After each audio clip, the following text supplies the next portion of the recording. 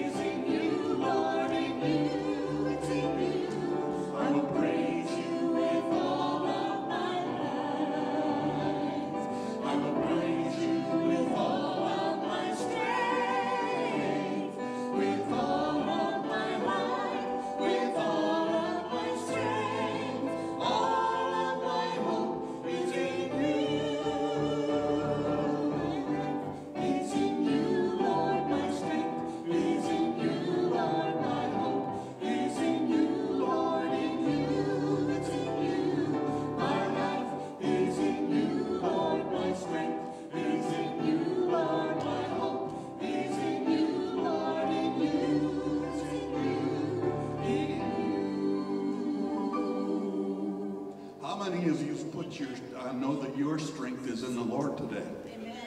Um, I've discovered that. Um, I knew about that already, but just as we have come through this time of COVID, both Marilyn and I, you know, the toughest part that we've struggled with is getting our strength back. And uh, today, that just reminded me right there that we need to rely on our Heavenly Father, our mighty Savior, Jesus Christ, our Lord and Savior, as our strength. He is our strength, He is our hope, and He is our life. Amen. We need to lean on Him today and accept that strength that He pours into us. Amen. And for that, we exalt Him. Amen. He is exalted, the King is exalted on high.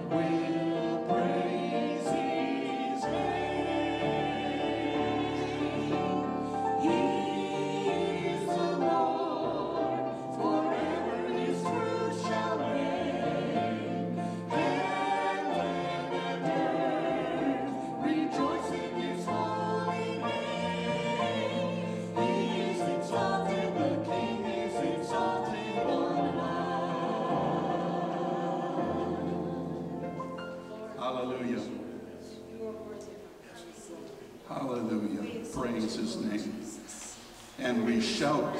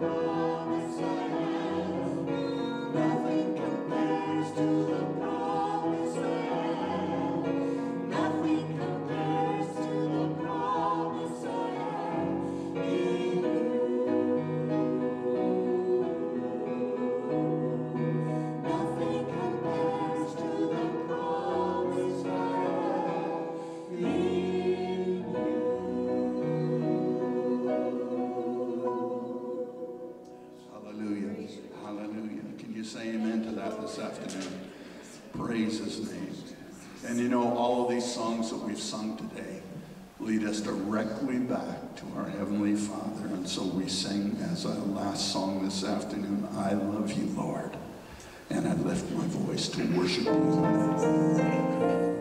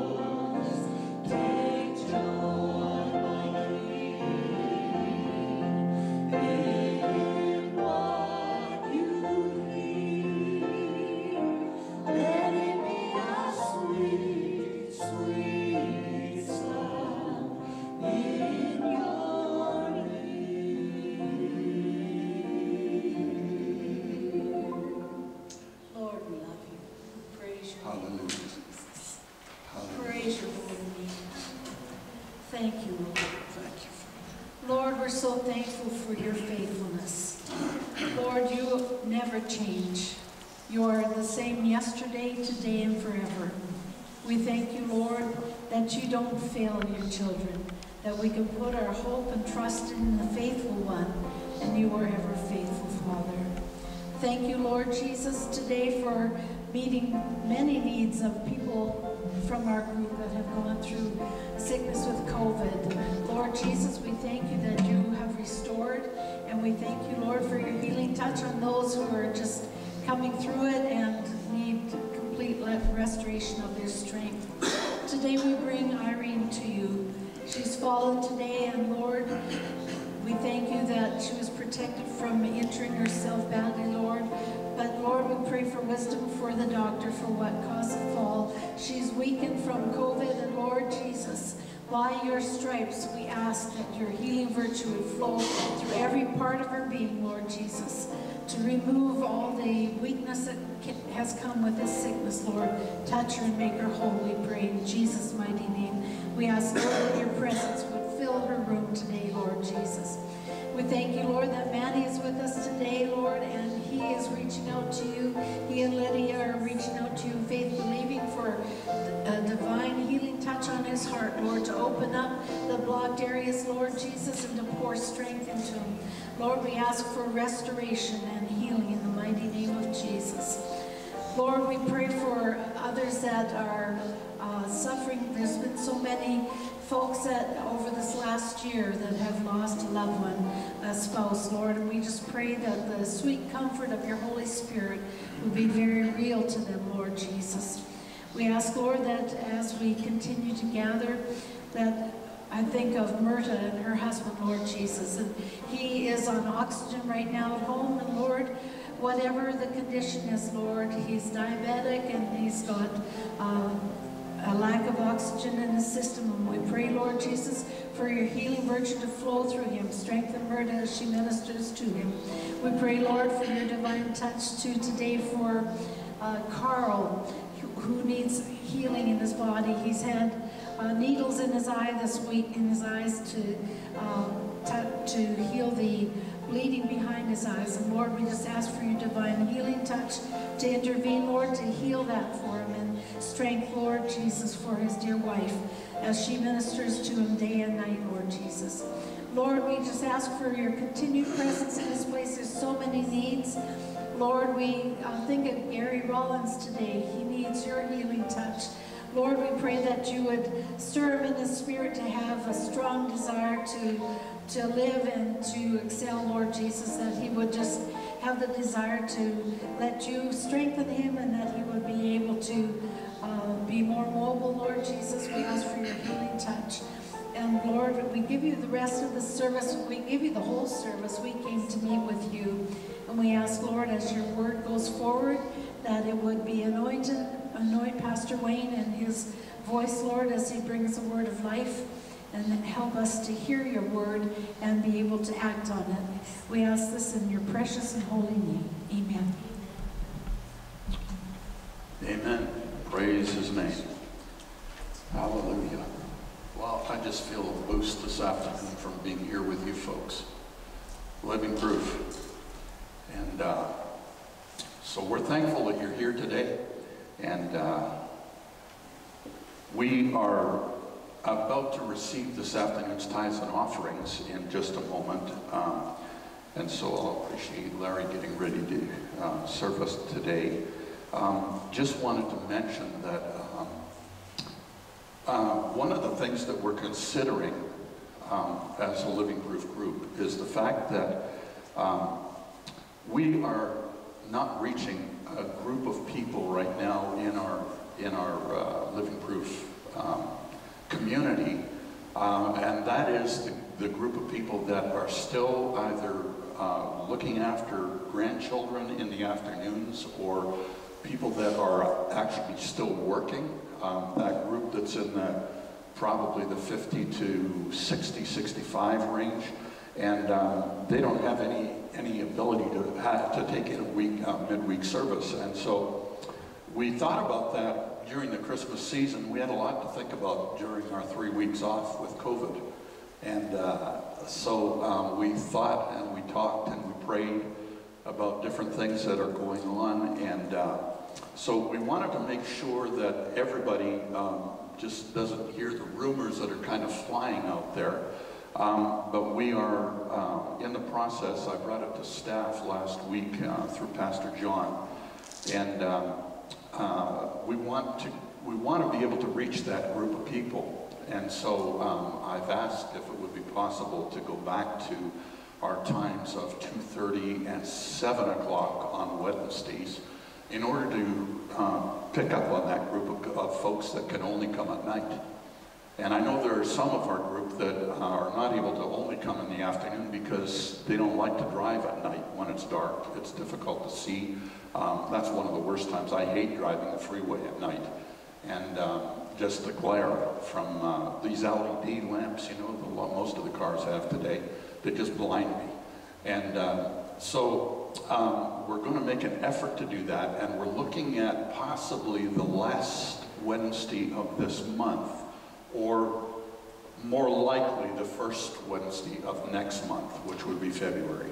And I don't have an exact date for that, but um, we will make sure that you're kept up to date. The moment we hear uh, we will let you know uh, for sure so that you can plan ahead and uh, plan which service you plan on going to. Um, I understand, John and Della, you guys called in to find out if you had to register today. We're not um, registering anybody. We're going without masks after. We ask everybody come in with masks, but then to make sure that uh, once you're, you're uh, socially distanced from others, then you can take your mask off and be free to do that. Um, we've been hit relatively hard with this COVID, our, our church and, uh, and our staff. And so um, it's been a difficult time. Um, the one thing that we may have to do, and I understand that from just the rumble out there, that I'm hearing back some uh, discomfort with the fact that we may have to move out of the chapel on Wednesday nights. We don't know for sure at this point, but there's a possibility for the Wednesday night service at 7 o'clock. We may have to move. At this point, it looks like they're possibly asking us to go where John held his Sunday school class in the fellowship hall on Wednesday nights because the chapel for all the evening services basically being used for uh, um, the small children uh, up till I think kindergarten or something like that. So up to about five, five years old, two to five. And so um, that's what the hitch is right now. We're trying to um, uh, negotiate and uh, see if we can uh, make some things happen there. Um, but that may possibly be our only choice at this time for a time, okay? So um, don't, don't speak anything into that. Speak positively. Um, speak positive things about the, you know, don't become negative and uh, just forget about um, uh, the fact that we're meeting here right now. We're thankful for that. Um, but um, we're, the church has become so large that um, every facility on the campus has become a multi-function room and a multi-use uh, room. And so that's the situation we find ourselves in right now. And so we uh, encourage you to just uh, pray about it, think about it, and uh, if you'd like to call, call into the office, speak to Marilyn or myself, um, we will let you know where we're standing at that particular point, okay? But right now, um, um, it's just out there. It's a projection, okay?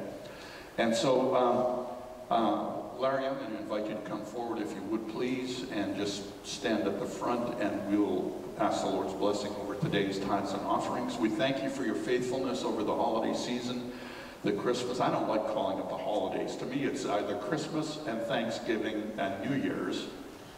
Um, I am stuck in the mud when it comes to um, not being able to say that Christmas is Christmas or Thanksgiving is Thanksgiving. We ought to be thankful all the year round, amen? And Christmas Day in our lives as Christians is uh, the best day of the year because we have Jesus Christ as our personal Savior, amen? amen? Praise His name. So thank you, Lord, today for the uh, ability to give back to you that a part of that which you've given to us. We ask you now, Lord, that you would uh, touch our hearts, touch our minds, touch our spirits, and speak to us what you would have for us to give today, and uh, and use what is given, Father, the monies that are given for the extension of your kingdom around this globe. In Jesus' mighty name, Amen. Thank you, Larry. Appreciate that. I won't distract you while you're preparing your offering if uh, I didn't speak long enough, but. Uh, Maybe John can mention about his son's Oh, yes, John, would you, uh, would you like to give an announcement about your, uh, um, your Sunday school class Sunday mornings? It started this past Sunday morning at 9 o'clock. Thank you. Yes, uh, we're in the counseling center next to the Extreme Building, 9 a.m. till uh, about 10:15 or so. We're uh, starting a new series in prophecy, that, uh, some of the same things that you've heard before, but with a new slant. Um, I'm sure. To all those that uh, can come out. And we're going to be hitting uh, some of the viruses and the plagues that we are experiencing straight on to let us know where we stand in these last days. Looking forward to the soon return of our Lord Amen. Amen. Thank you. Thank you. Appreciate that, John. Um, one of the best teachers on Revelation I've ever heard. Um, and that goes for some of the big names around America. Uh, we've heard them all. and John uh, brings more depth and more information than I have ever uh, heard discussed in a Sunday school class. Um, a wonderful job, John. Really appreciate your teaching. Well, today, actually, um, I'm going to be speaking on um, First Things First, which is a New Year's message, actually. And um, uh, just some things that I think as seniors we need to look at in uh, beginning this new year. And so I'd like you to turn in your Bibles. Uh, most of you brought your Bibles to look to today. If, uh, if you didn't bring a Bible but have a cell phone, you can download a thing called Bible Gateway for free. And it has, uh, I think, about 60 or 70 versions, including uh, Spanish and German and um, Italian, and probably pretty well um, near all the, um, the many um, languages that are spoken around the world today. And so, uh, and plus about, I think, about 50 translations of the Bible. So today I'm reading from the New Living Translation, and I'm uh, asking you to turn in the book of Matthew to Matthew chapter 6. Um, let's just go a little past two thirds of the way into your Bible and turn right. And you'll hit Matthew, and we're looking at chapter 6, verses 25 through 34. Beginning at chapter or verse 25, that is why I tell you, this is now, uh, this is a simple message today. It's probably a topic that is maybe more spoken about than any other, other topic in the uh, Bible because worry and anxiousness is one of the most prevalent things in our society. So that is why I tell you not to worry about everyday life, whether you have enough food and drink or enough clothes to wear. Isn't life more than food and your body more than clothing? Look at the birds. They don't plant or harvest or store food in barns, for your heavenly Father feeds them. And aren't you far more valuable to them than he they are, or to him than they than they are? Can all your worries add a single moment to your life? I've, I've discovered that they don't. Doesn't help me one iota. And verse 28, and why worry about your clothing? Look at the lilies of the field and how they grow. They don't work or bake their clothing, yet Solomon in all his glory was not dressed as beautifully as they are. And if God cares so wonderfully for wildflowers that are here today and thrown into the fire tomorrow, which is alive and green today and tomorrow is cut down and thrown as fuel into the furnace, he will certainly care for you. Why do you have so little faith? I'm asking you right now, why do you have so little faith? So don't worry about these things saying, what will we eat? What will we drink? What will we wear? These things dominate the thoughts of unbelievers, but your heavenly Father already knows all your needs. He knows all our needs. We've been told that for absolutely years as we've been brought up in the church. Verse 33 Seek the kingdom of God above all else and live righteously, and He will give you everything you need. So don't worry about tomorrow, for tomorrow will bring its own worries. Today's trouble is enough for today. Amen. May the Lord add his blessing to the reading of his word. Now, folks, have you ever so worried, been so worried about something so bad that you couldn't sleep? Anybody? Yeah, mo- most everyone in a room. I don't mean for just a day or two, but I mean for weeks or even months. Anybody? Yeah. I have, and as recently as two weeks ago, as Marilyn and I were tested positive for this COVID 19 thing, there were several nights in a row that I couldn't go to sleep because I was so terrified that I wasn't going to wake up in the morning. Um, it was difficult to breathe. Uh, I ached from head to toe. Uh, I had all the other symptoms that were going on, and I mean, I didn't know whether for a couple of days during that first week whether I was even going to make it. It was a terrible experience. But if you have, I want you to listen to this story this afternoon. A, a man I know was dealing with a problem related to his ministry that so consumed him and so exasperated him that for over a month he was functioning on about three and a half to four hours of sleep a night. His colleagues would comment to him flippantly that they'd get an email from him at 11.30 at night. And then they'd get a follow-up text at 3 or 3.30 in the morning the same day. And then uh, the, the man knew that he, he couldn't keep going like that. Physically, his drive was being flushed down the toilet of worry. Emotionally, his, his natural glee for life was being ripped away by the jet stream of worry, just flying right, right out of there. And spiritually, his delight in his ministry was being torched in the incinerator of anxiety. Then all of a sudden, his worry basically dissipated, just left. It wasn't that he didn't care, because not worrying doesn't mean that you quit caring.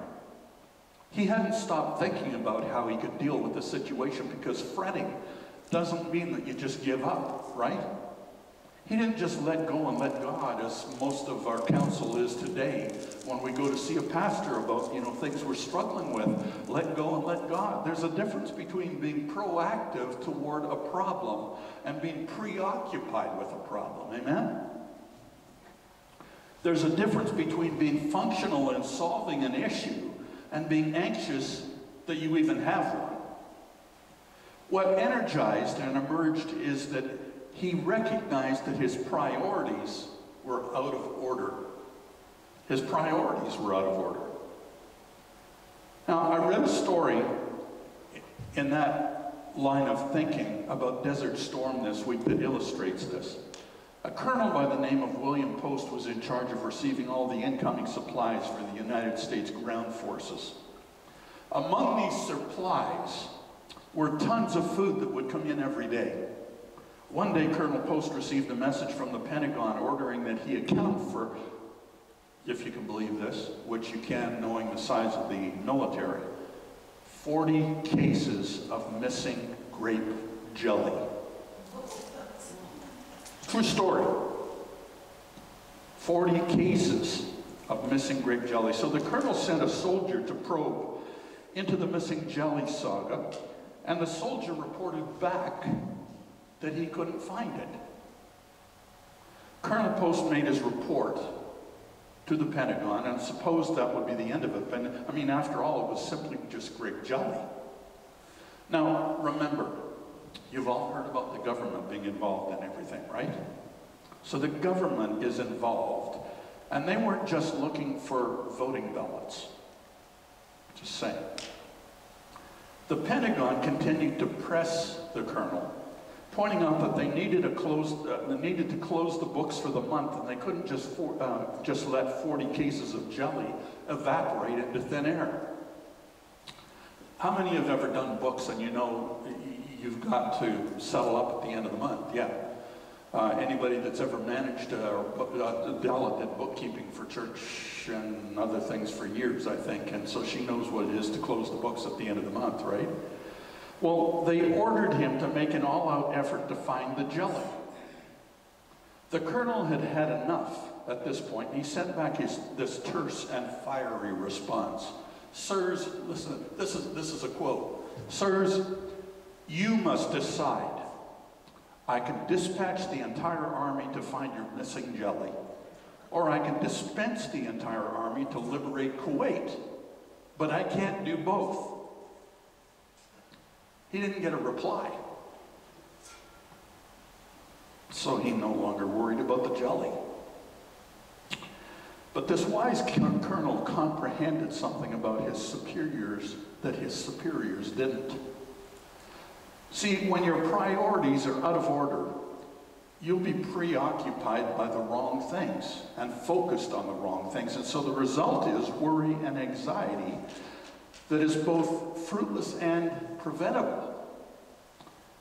Now, at the beginning of this brand new year, and as we begin this week of prayer emphasis, and uh, I'm throwing in an announcement there, uh, we started on Monday night with the week of prayer emphasis in the sanctuary at 6 till 7.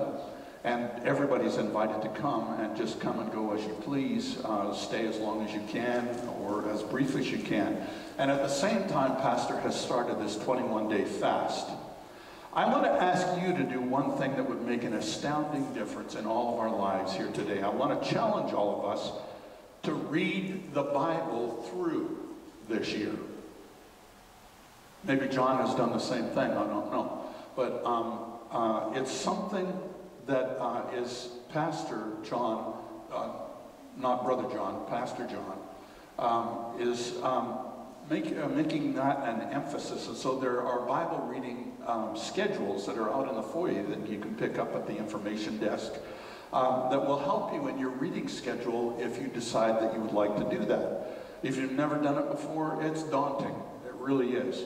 Um, I've done it several times over the years, but um, it's a daunting task because um, you have to read the Bible every day for 365 days of the year to manage the read through of the entire 66 books of the Bible.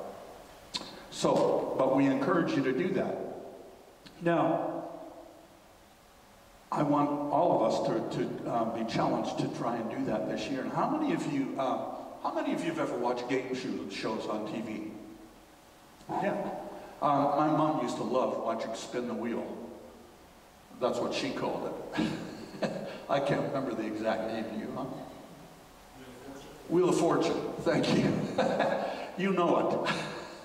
I've watched. I used to be amazed by it. You know how people can just pull those letters out of the simple, out of the blue air. And uh, but anyway, so most of us are familiar with the envelope or the prize card that's being pulled uh, pulled by the host, right?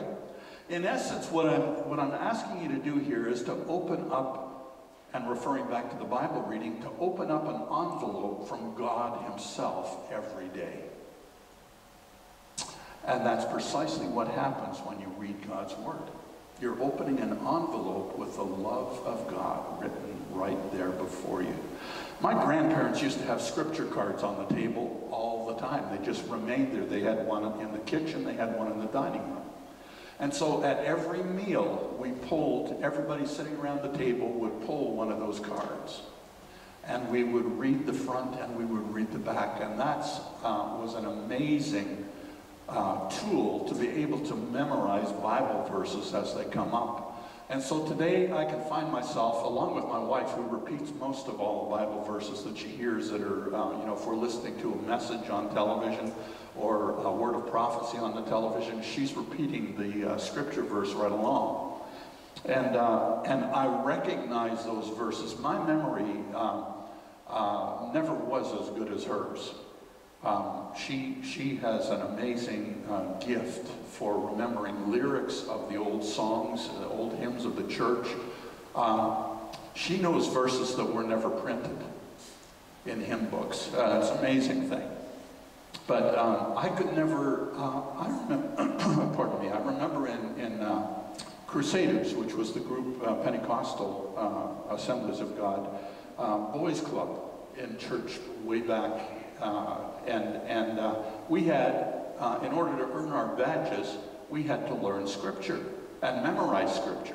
So that we, would, uh, you know, we memorize such and such and we'd get a badge for that. And so um, I remember my shirts were always just jammed up the arms and across the chest and on the hat. And uh, so I, I remember when those scriptures come to mind or I hear them again, that yes, and I can almost, almost say the reference when they do that. It has stuck in my mind. Amazing.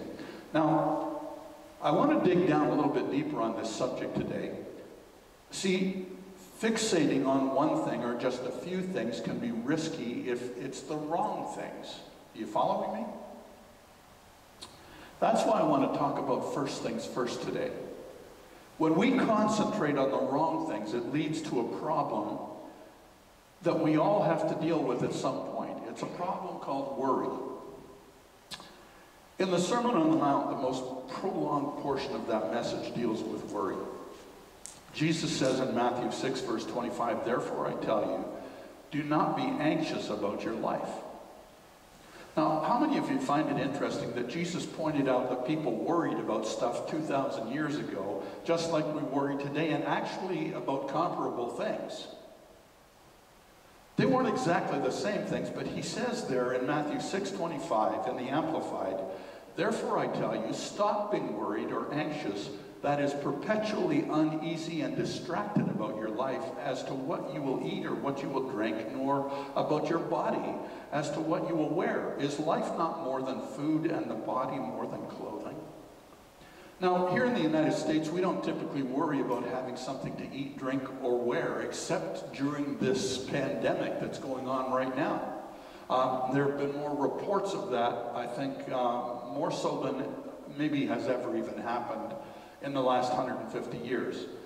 Even though there are people during this pandemic who are struggling, and I'm, I'm not denying there's some hungry children, perhaps some adults in this country, but when we, when was the last time you literally heard of someone starving to death in America?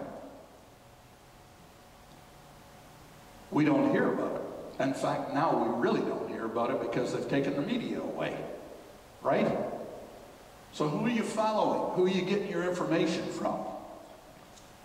Now, we still worry about life and mortgage payments. I understand all of that, having a job and health insurance and having enough for retirement.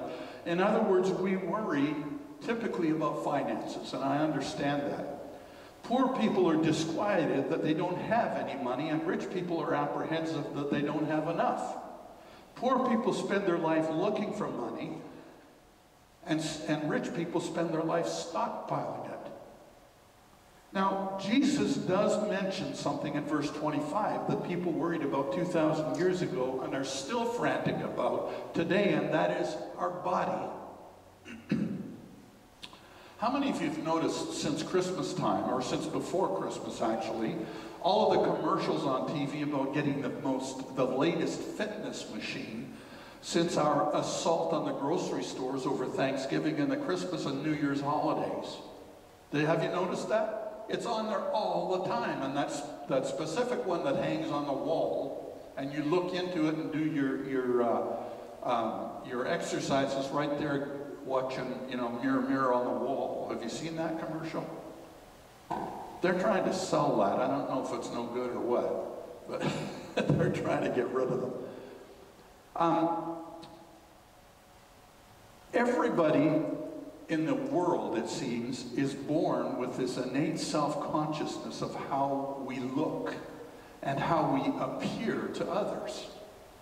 Paul Harvey once told of an old man he knew who put braces on his false teeth so he could look younger. You believe that? That's Paul Harvey. That's gospel.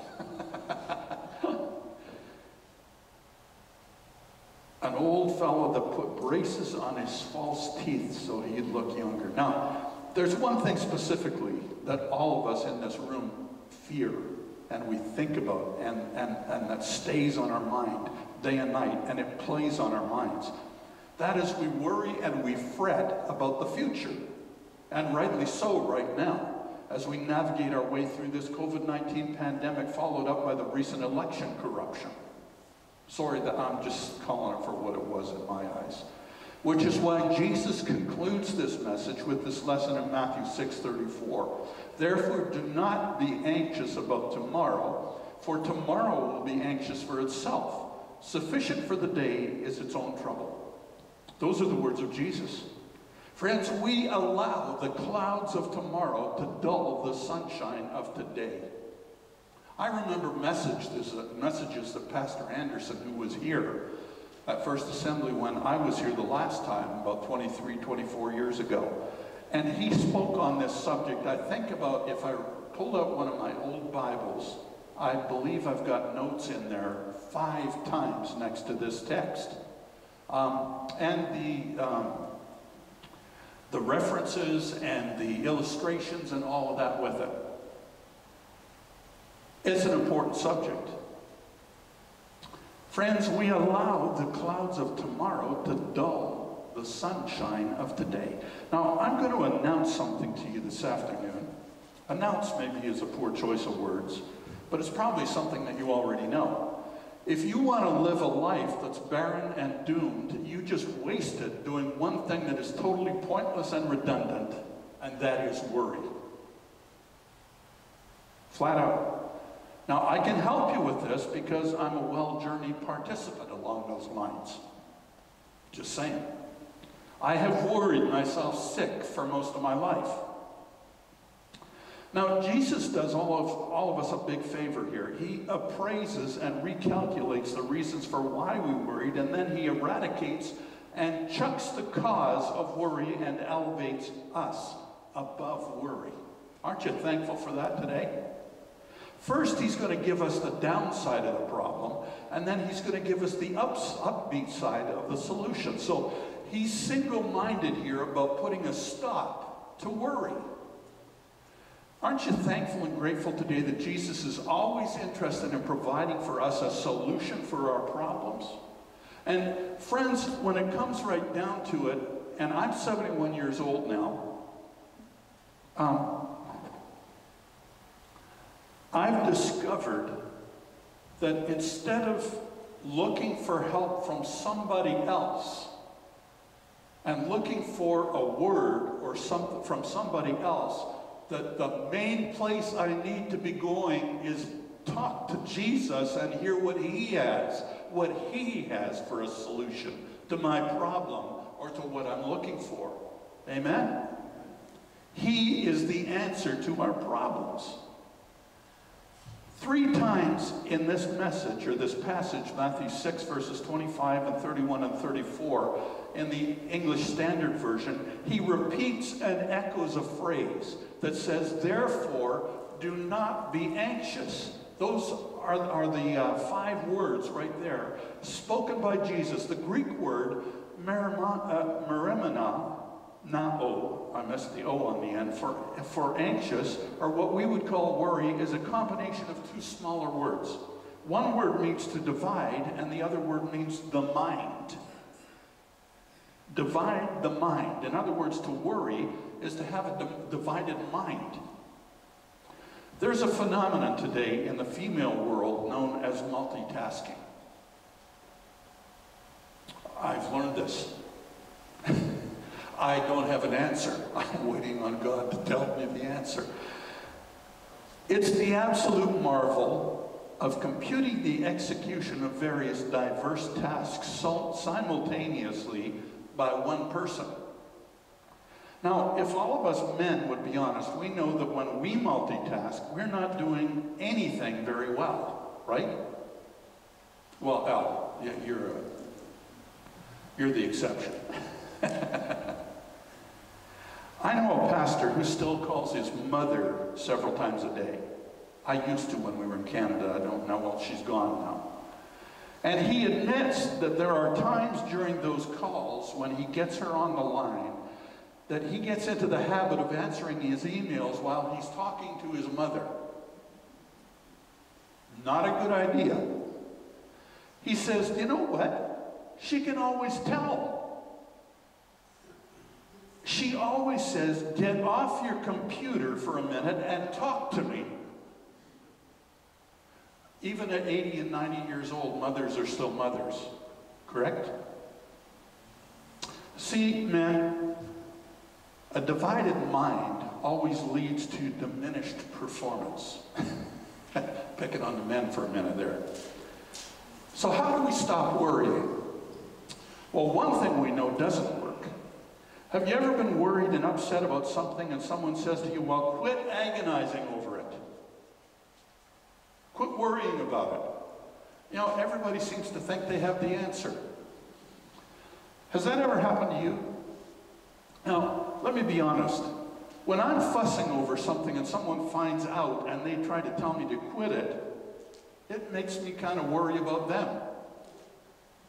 Now, Jesus does something that's just fantastic here. He does something that no other therapist would have ever thought about, I'm sure.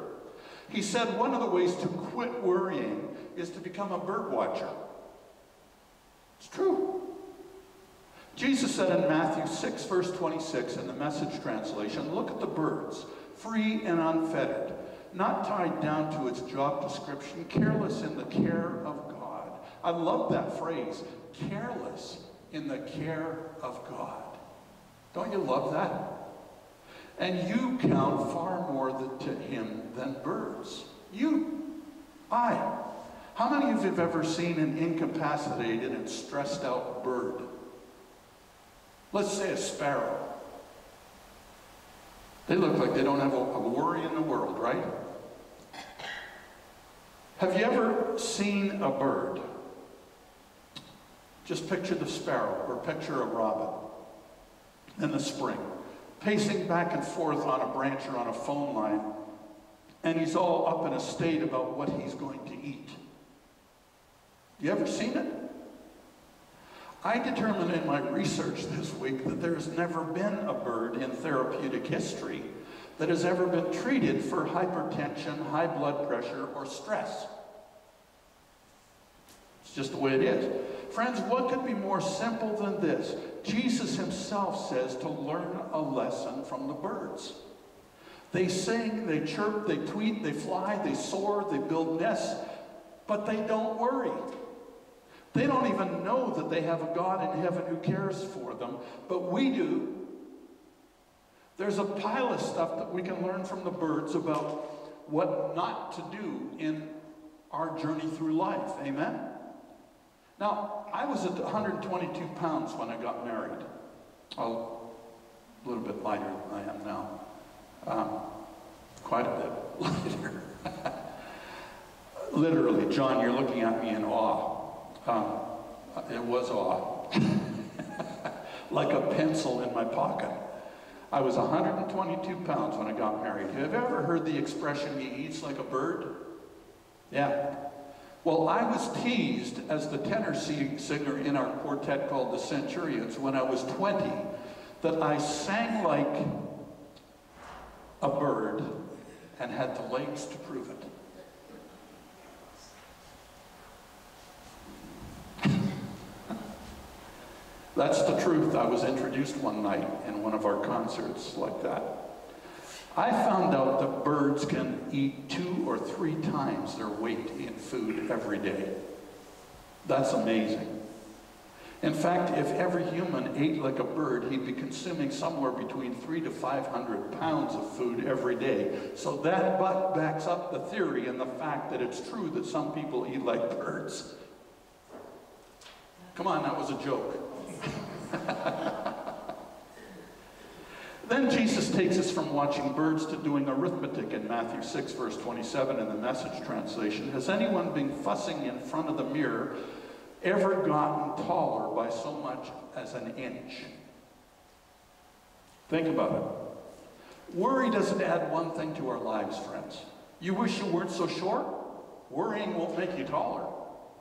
You'd like to get rid of some weight? Well, worrying doesn't lose a pound. You wish you had more time on this earth?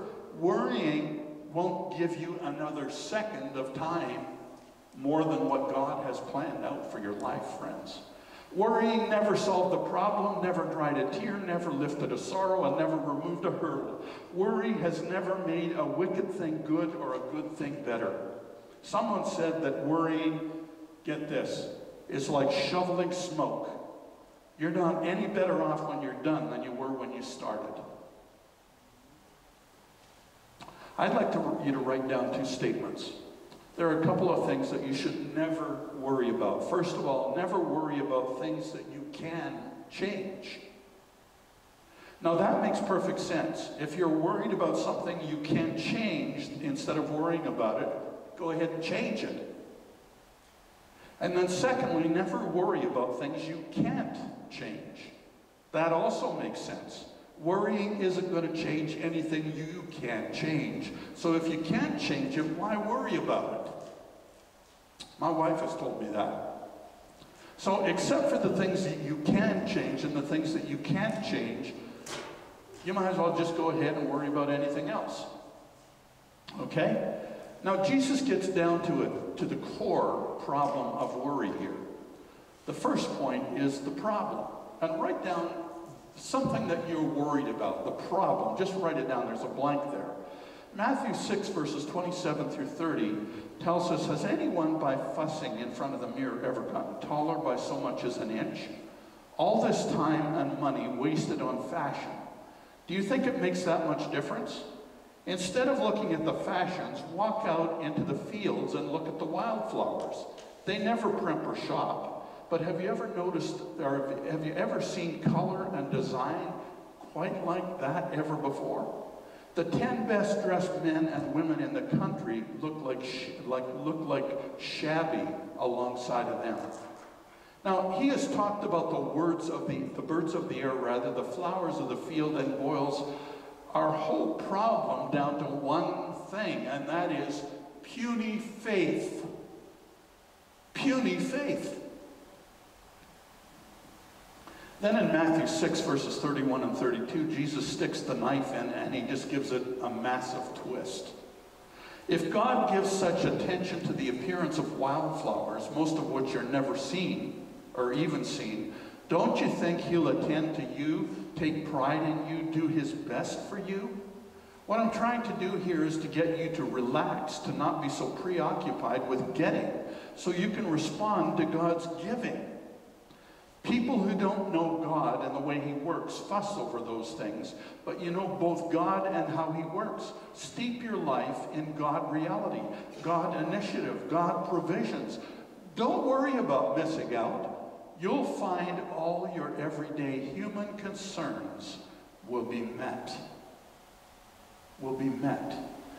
So, are you starting to comprehend what worry is here today? I hope so. It all boils down to this worry is practical atheism. First of all, there's no question there is a God. There is a God. Secondly, indisputably, God controls my life and your life. And thirdly, there's, it's a proven fact that God loves me and cares for me. Fourth, so why worry and get bent out of shape over it all? Why worry? Friends, we worry because we haven't come to grips with the fact that there is a God. Or even if we have, we really don't believe He's in total control of our lives. And if we do, we don't believe He cares for us. Otherwise, there's no need to worry. Now, Jesus has spent all this time and all these verses talking about the problem from a negative standpoint. So, having discussed that this afternoon, what is the solution from an upbeat perspective today? Secondly, the solution, the correct application Matthew 6:33 tells us, "But seek first the kingdom of God and his righteousness." Now, this verse was my favorite verse when I first entered the ministry uh, 45 years ago. The disarming word there, and, uh, and the most critical word, is that word first. You see, the resolution for worry is simply putting first things first. I saved this till now because this is what I want you to walk out of the door with today. Correct priorities stimulate peace in our lives. When you're single mindedly fixated on the right things, you're not going to be worried about the wrong things. Amen? Jesus instructs us that there are two things we ought to stay laser focused on in every aspect of our lives, and that is his kingdom and his righteousness every day of our lives. Our personal motivation is to focus on A, God's rule over my life, and B God's righteousness in my life. I'm not talking about concentrating and obsessing with your eyes, folks. I'm talking about fixating with your heart. Fixating with your heart. You see, focusing with your eyes involves seeing. But focusing with your heart involves submission and surrender. Surrender your worries and focus on His will. It's just that simple. So, correct priorities stimulate peace, but out of place positions heighten our worry. No matter what you say your urgencies are in your life, what you worry about is really your essential need and focal point.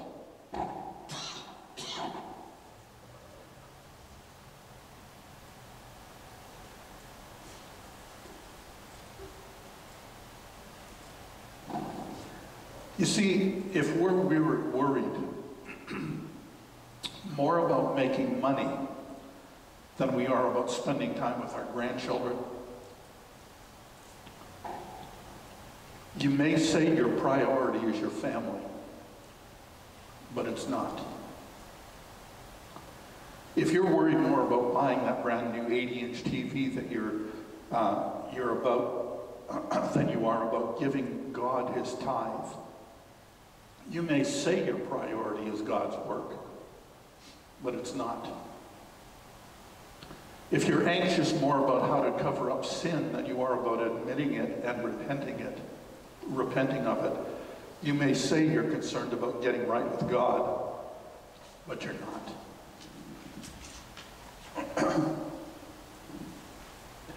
Friends, every day that your first rolling out of bed prayer should be for his rule over your life and his righteousness in your life. And when that takes place regularly, guess what happens? When you focus on his will, he takes care of your worries. When you focus on his will, he takes care of your worries. And Matthew 6.33 says, But seek first the kingdom of God and his righteousness, and all these things will be added to you. Or as another translation puts it, he will give you everything you need. You focus on what God wants to do in you and through you every day of your life, and he'll take care of what needs to happen to you and for you. Are you with me? Matthew 6.34 says, Therefore do not be anxious about tomorrow, for tomorrow will be anxious for itself. Sufficient for the day is its own trouble. So we need to look one way at a time. Seek first the kingdom of God and his righteousness, and then live one day at a time. Amen? Meet today's problems with today's strength. Don't be getting after tomorrow's problems until tomorrow.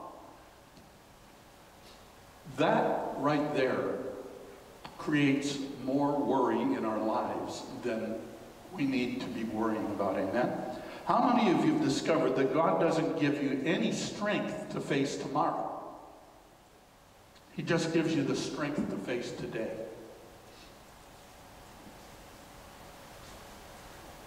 I've discovered that.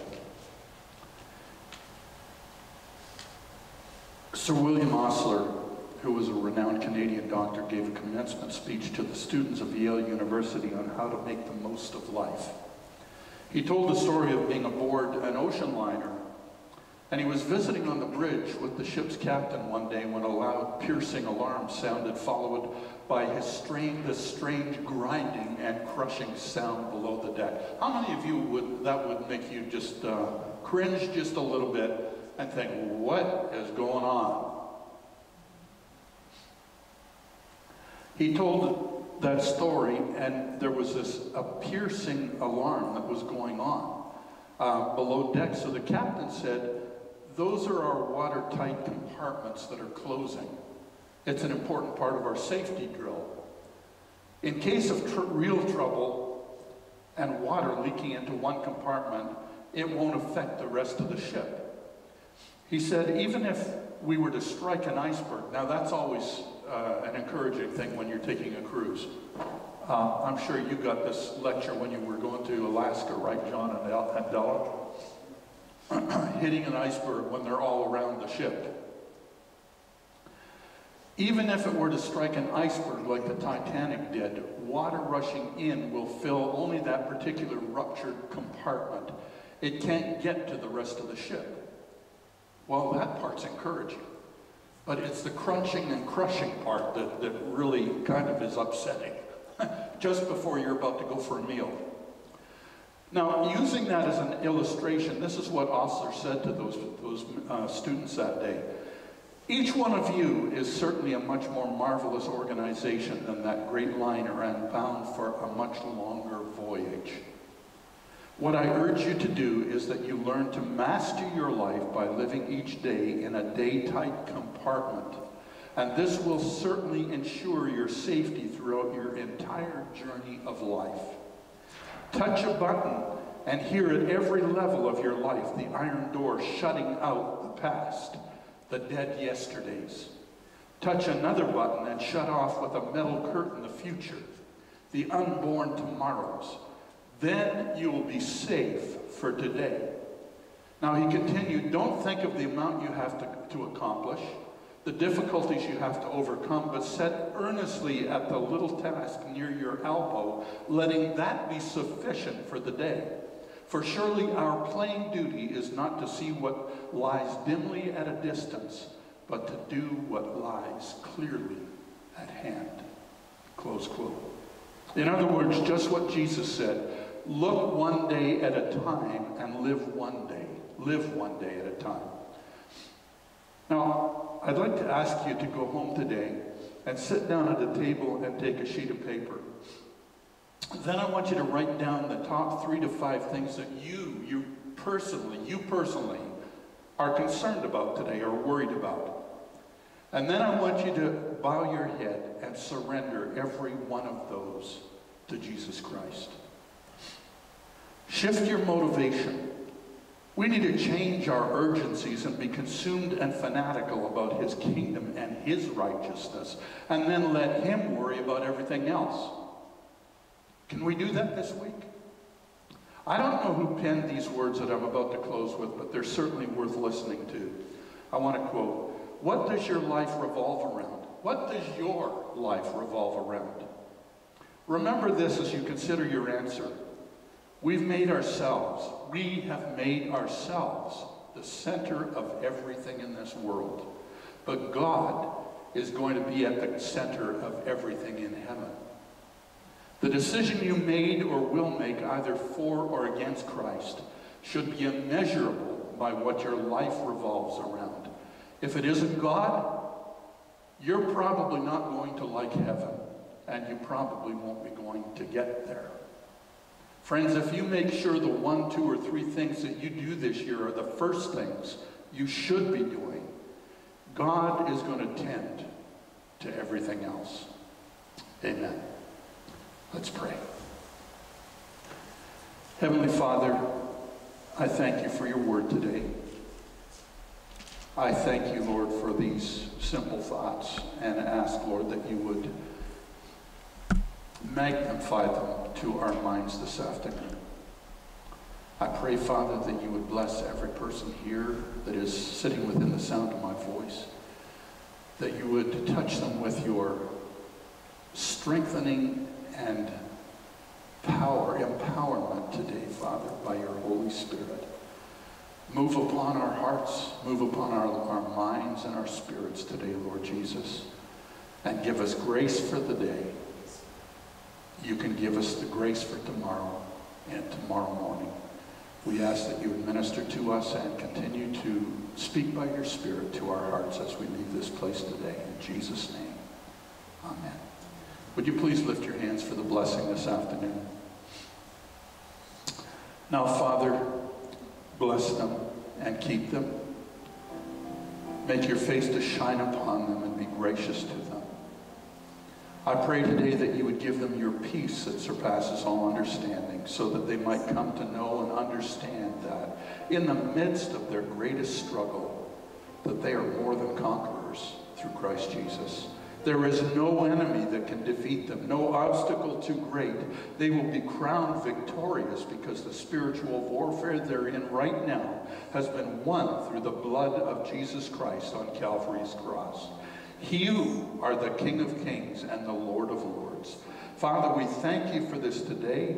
Now use us for your glory as we go our separate ways, Lord. May the rest of 2021 bring us untold blessings as we are used to make a kingdom difference in the world around us. In Jesus' name. And everybody said, Amen. There are three easy ways to give tonight. The first is through PushPay.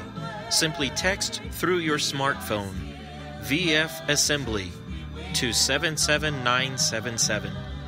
The second is by going to the church website at www.vfassembly.org and click Give at the top right side of your screen. The third way you can give is to mail your giving directly to the church at 15260 Nisqually Road in Victorville, 92395. Thank you, and may God bring His richest blessings upon you as you give. God bless.